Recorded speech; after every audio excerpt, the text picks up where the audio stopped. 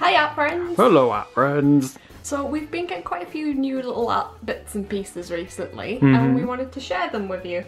So haul videos are quite handy for that. So I'll kick it off but um, we do have Adam here as well, let me... Like chained to the camera. yeah, he stuck to it, oh, oh dear. Well, I know what I want to show, but I should probably save that till last because it's one of my favourite things. Actually, I'll start with these because I've had these for a while and I haven't shared them with you guys. But these are two sketchbooks. They were both presents. I was very lucky to receive them both. This one was from my buddy Ferenc. Thank you, Ferenc.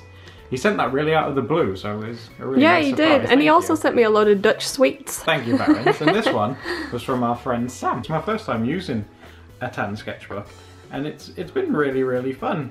I'll try and find because this in here there's a lot less stuff with Una, so I can show you like stuff like this. If you follow me on Instagram, you'll see all of these. But uh, Ooh. using the You know, tan I've never used the tan sketchbook. Oh, you should. It's good I'm surprised I didn't just nick some of the paper out of that one. because it's really nice that you can pick out all different like. Yeah, light- if you use like a white gel pen or paint pen or something, it's a really great way to sort of pull those kind of details. Mm-hmm. Because when you're working on white paper, that's not really something that you can do. Okay, so one of the things I'm going to show you quite quickly because I'm so worried it's going to leak on my bed Oh god. is a little pot of ink. And Ooh. I've been so into the colour indigo recently to the point I actually went on Amazon and I typed in indigo and I pretty much bought any kind of art supply that came up that was called indigo. She did. And I was sort of surprised at how much like the colour indigo varied. It can be like more of a purpley colour and it can be mm-hmm. more of a bluey colour. This one's a bit more of like a grey blue. I've never used FW type of inks before. Ooh. And the thing that I really like about it should not be doing this. Doing this on the bed, I'm like, what are you doing? It comes with its own little pipette dropper. Oh, I can see. We'll show you guys a close up of it so you can see. But it has like a little glass dropper. It's really, really nice. Which I think is really handy because when you're transferring it to like your Mhm. paint palette or whatever. For my other inks, I bought a ton of these. Oh, Um, little they're super cheap to get hold of. You can get like 10. It was like a on pound? something, It was super cheap. quid.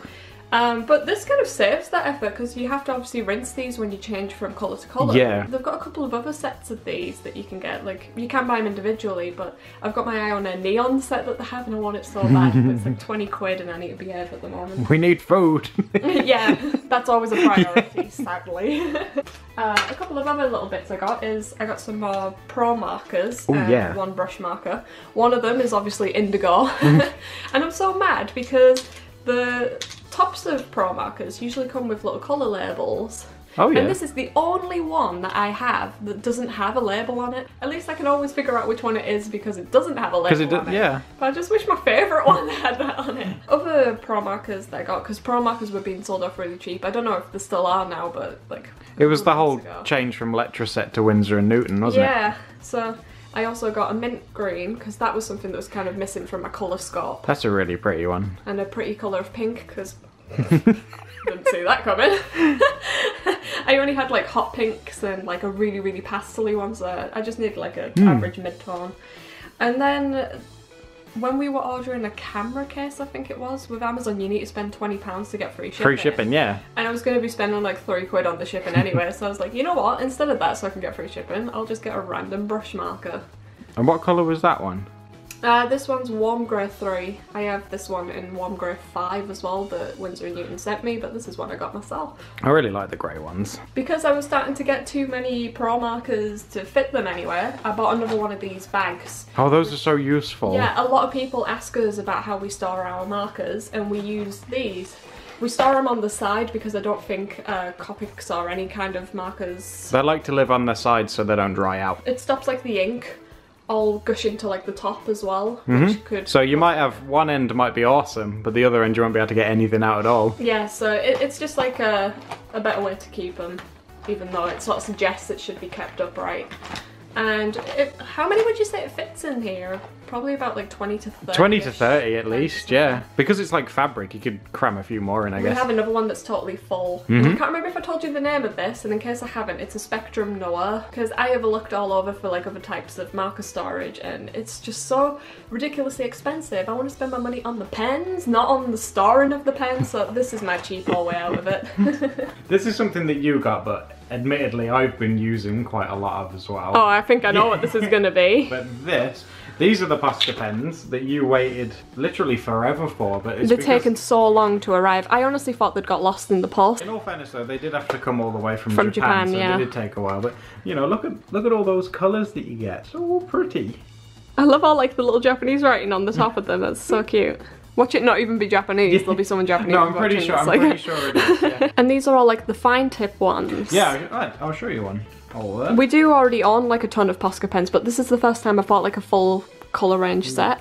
These are kind of like the tips are comparable to like just regular felt tips and stuff, but they're they're really really good. I really like. And in them. case you don't know it, it's paint that's inside them. Yeah, yeah, so yeah, they're not a felt tip. They actually they're like a paint pen, so you can pretty much colour in or draw in anything. With these, I actually recommend if you store them upright like this, because beforehand, I, when I was keeping them in my pencil case, they started to get like a bit watery and they weren't working very well anymore. Hmm. So I tipped them upside down, left them overnight, and then they were flowing like they were brand new again. So in case you've ever had that issue with Posca pens, I recommend Keep them it. upside down. I also once saw someone comment saying they didn't like Posca pens because they dry out. But I don't think they should dry out because I've read on the website that if the tip ever dries, all you have to do is like pump it because you can actually pump with these pens. You like Yeah, you press it it, down. yeah. You take the like on your hand, yeah, well, yeah, yeah, push it like that. But if you press and it the down, nib goes into the pen. I'm not stabbing myself in the hand. It pumps it, see, and it comes out. If you just do that against like your sketchbook a couple of times, and when you get them brand new as well, you got to do that quite a few times to Yeah, get the paint. they might not out. work straight away when you get them new. No, you just give them but it's quite fun when you get new ones because the nibs of them are white, Yeah. and then as you pump them down, you watch like You all the all ink run come down. It's really well the ink, the paint. It's really really fun. Oh, something else I want to show you is Oh. I can't Oh, believe I haven't shown you this. It's been such a long time, but on my birthday, Steph was really, really kind to get me these. and you may be wondering what it is. And it is a set of watercolor paints by, is it Kuretake? yeah, it is. But uh, they're a bit messy now because I've been using them. But look how, look at those colors, and they look great. You can see me with the camera and like the plastic sleeve, yeah. If I take this off, you might see them even better. and one of the cute things about these is that in the lid, Oh, yeah. you can list like all the colours. And because Adam's colourblind, it says the names of the colours and they're in order with where they actually are Mm-hmm. So in the palette. they're like, just like that. So I purposely picked these ones out because of like this Because little of thing. this, it's, for me, it's like super helpful. I always feel really guilty when we do watercoloring stuff with Adam because like the paints inside the pans quite often don't actually look the same as what they come out like on the, On the paper. So for example, this one looks really really dark and you might think that's black, but it's actually like a blue that's like. A deep blue color, yeah. So I'm I'm so chuffed that we've got like these little name labels for you. It's awesome for me because, like I say, I do want to get into colouring, and when you've got something like this, it's uh, It gives for- you a bit more independence with it, which is nice. I'm not nagging you every minute like, is this brown? but yeah, I really appreciate that. Thank you. These things. These are Kuretake water brush pens for the use of like watercolours and stuff. As you can tell, they've been used quite a lot. And they all come in uh, different sized and Now, shapes. admittedly, there's something about these that I don't like as much as the Pentel Aqua brush pens. Oh. So if you unscrew it, um, you want to unscrew this yeah, one? unscrew it so I can show people how like you fill it up. Mm-hmm. The Pentel Aqua ones to put ink in Ow. or to fill with water, Mm-hmm. it's really easy. But nobody ever told me that this is an issue with these. Um, can you see that it's got like a black plastic cap on the top Right and there's there. Mm-hmm. a really tiny little hole in it? So if you want to make like an ink wash in something like this, for example, normally to do ink wash, I use a pipette and I just drop a few inks in, mm-hmm. a few inks, a few drops of ink. Just in chuck them it all in there. for all the inks in. But with something like this, you really need to own like a syringe, and I, I don't like the idea of owning a Yeah. syringe. And not like a medical syringe, there are proper artists. Yeah, there are like really blunt art syringes, but nah, it's just not for me. Uh, even filling them with water I find quite awkward because obviously the cold water tap's quite cold and you've got to hold it under and you've got to keep squishing it and like sucking water into it. It just, It's such, it's such a first world problem. I know it is right. I was filling my brush pen, but the water was too cold. Admittedly, the reasons I was attracted to these is that they have such cute different colours, so it's quite quick and easy to tell the difference between them, because as you can see, they're all different sizes and stuff. And I mainly wanted it just so that I could get a flat brush, because um, when I'm painting with ordinary brushes, flat brushes are sort of my go-to brush, and my water pen sets don't usually come with ones like Yeah, this. Yeah, it's hard so- to find ones with like kind of a chisel. So, that there's like the pros and cons I find in those. The pastel colours are definitely a pro. So as always, um, I've got sketchbooks to show and it's nothing that new really. I just got another new black Moleskine because the Ooh, one yeah. I showed last time is full up. And I also got a red Moleskine and this is like one of my favourites. That's like the first time you've ever had like a red one. Yeah, it's nice because now I'm using them to do like different types of artwork in both. So things that are more work related that I can't always show, I'm aiming to put in this now. The top secret red one. I feel guilty when I do like sketchbook tours and the stuff where I'm like, oh, you guys can't see this. People So- really liked my passive aggressive no page. There's a link to the sketchbook up there if you want to see what I did with the last one. Hmm. They're like a really nice keepsake to have videos of your sketchbooks. Like even if you're not like an art YouTuber, I really recommend doing like a little video, even if it's like an Instagram video or Yeah. a video or something. Because uh, sometimes you can lose a sketchbook and you don't realise like how much it How- sucks yeah. to lose something that personal. Or sometimes I have had friends where um, there's been like a water leak in the house or something and the sketchbooks have gone mouldy. Aw. So just do things to back up your sketchbooks, like get little videos or pictures of every page if you're using Instagram. I mean, plus it's really awesome just to see how far you've come along. yeah, and another bonus tip that you can do as well is that if you scan them in, you can put them together as like a digital PDF that you can like sell on Gumroad or something. That, yeah, yeah, a lot of people do that. I like getting those. sketchbook tips. I've also been getting quite a few paint palettes recently and I haven't cleaned them out to show you guys, but at least you'll see how well loved they are. so I've got a watercolour palette. Oop. Hair stuck in it. So with this one I was using Adam's watercolours. That's cool. So I wanted to We share that. everything. Another paint palette I got, I got this one to use with gouache. I like using these ones for watercolours because they've got such deep trays. Yeah, that's actually one thing if to you mix in a lot of water with the colours as like what colours are kind of intended for, um, yeah, I really really recommend something that's nice and deep. And then I really think this is cute because it's got like Let's this middle section for doing.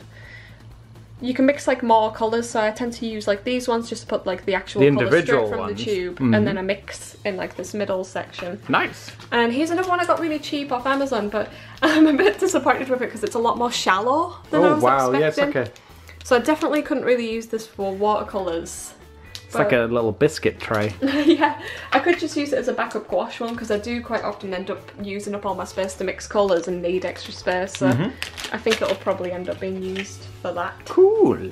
I don't know whether this really counts in a whole video because of what they are, but I've been drawing with them. And does anyone own or remember these? Yeah, I used to have them in school. My very first memory of this is when my my very first like year one teacher she had one. If you did good, you'd be written in the blue pen, but if you did bad, you'd be written in the red pen. but yeah, basically, guys, if you don't know what they are, it's um you just choose the color that you want. It goes down, and then it writes in that color. But it won't. There we go. See, blue. I was thinking it would be fun to do a video trying to use a pen like that. Where like the only thing we're allowed to use is one of those. That's that one. And you've got another pen that you're quite chuffed with. This one's a bit more snazzy because this is a Lamy pen. Yeah, they're the same brand that do the fountain pen that I've showed you in a previous video. Yes, that's right. Yeah, but this is similar to the other one. It's just a biro, but It feels like a nice quality pen. yeah, it, I mean, this is a big one. This one just feels heavier and a bit nicer. To be honest, I don't even know why I bought it. It just looked nice. You were very excited when you saw that pen. Oh, why don't you show my Pritt stick? I think people might have seen that in Valentine's video, but Not me to show this. yeah. It is a pink Pritt stick, and that's basically it. I like using Pritt sticks just to like glue one-off sketches into like my sketchbook if I've got them hanging around or whatever. But isn't that so cool that it's pink? It's very pink. So this one I'm really excited Yeah. to show. This is probably the most expensive art supply that I've ever personally forked out for, and it was a really big investment for me. But I've wanted them for so, so, so, so long. It was like a huge event when they arrived. Yeah. For people who buy things like Copics, they'll be like, that's not a big deal. But for me, this is a big deal. Shut up! so I got some Holbein gouache, which is artist grade gouache paint. Yes. And I think this is like my first ever artist grade art supply I've ever bought. Oh, yeah, I think I it mean, is. Era sent me some artist grade uh, watercolors as like little samples. Oh, they're in a little box, amazing. and they're really really nice. But I don't feel uh, confident enough with them just yet to fork out to get my own. I've been using gouache for quite a while. Mm-hmm. Um, I've been using Reeves gouache for a very long time. And I wanted to show you an example of the difference between Holbein gouache and the Reeves one that I'd been using. Let me show you how oh, pretty Oh, look, they are. look at those. So the thing that fascinates me with these is that the colour of the paint is the same as the label and that is so rare that happens with things Yeah. like paint. Paint labels always lie. Let me quickly show you how incredible this is. So my friend Dommy got some of these about a year ago and ever since I have not been able to get this pink one out of my head. But look how pretty that pink is. Just look how pink that that thing on the end. That's the actual paint. I know, it's amazing. They really are like really beautiful paints. So let me quickly show you the difference between spending 50 quid on paints, which is so steep. I don't recommend doing it unless you really, really, really learn that you love the medium. That's it. If you're um, ever starting out, it's always best just to go cheaper. So this page here, these are the Holbein gouache, There they are. and these are the Reeves ones that I was previously using. Let's just show you them both together. There we go. I mean, if you don't usually use paints, you might be like, oh, there isn't a massive difference between them. And there's not like a massive one. It's just more so that the pigment's a lot brighter in Yeah. these ones. And in these ones, they tend to be a little bit more on the muddier side. It's not like a, a massive deal, especially when you're first starting out.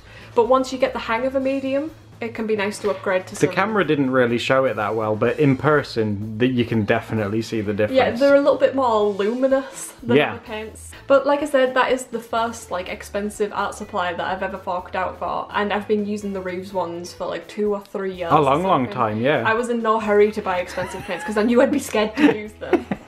but um, I'll show you something that I've done with them Ooh. recently. Oh yeah. I did the some Beatles with them. I love how bright like the blues and the reds Yeah, and the yellows are. awesome. I really like this page in your sketchbook. Oh, we've got one thing left to share that came today. I'm Oh. excited. Seriously, once we finish filming this video, you know what I'm gonna do? I'm gonna run up and look at this. so this like this seriously came like this morning when we got up.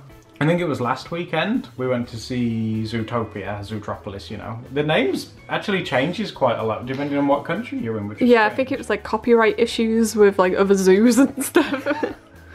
But what we got was the art book for it. Um, if you guys have seen it, I- I'm kind of curious. Who's your favourite character from it? If you've seen it. I wish there was more of the hamsters in it, but I might be biased because I like, like things that look. Yeah. I was quite a fan of Judy Hopps. Just like look at look at. Doesn't that look amazing? oh, it's incredible. A lot of you guys always ask like what's our inspiration behind our uh, artwork, and a lot of the time Ooh. it's like the Disney art of books. I mean, that's such a generic answer to say as an artist. There's tons of other inspirations that we have. If you're just starting to get into like stylizing your artwork, I really recommend picking up books like this because What are you doing? I'm trying to flick through the pages to show people like how awesome. Like it has background designs and characters and it talks you through like the process of things and uh, seriously this only came like just before we did the video and I was like no I want to look through this If now. you're ever looking for inspiration, the Disney ones are probably the best art of books you can get. My personal favourite I think to date is the Tangled one. I absolutely love that one. Yes. And the Wreck-It Ralph one I, I personally really like that as well. Which ones are your favourites that we have? Uh, this one, which I haven't even got to yet. You've used the Frozen one quite a lot. Yeah, the Frozen one. When I ve- when I very first started learning to draw, the Frozen one was probably the one I used the most. If you want to see another haul that we've done in the past, I'll link that above. We'll see you again next Sunday for another doodle date. Yeah, see you on Sunday, guys. Bye guys! Bye. Bye! Elsa and Anna are like my BFFs now.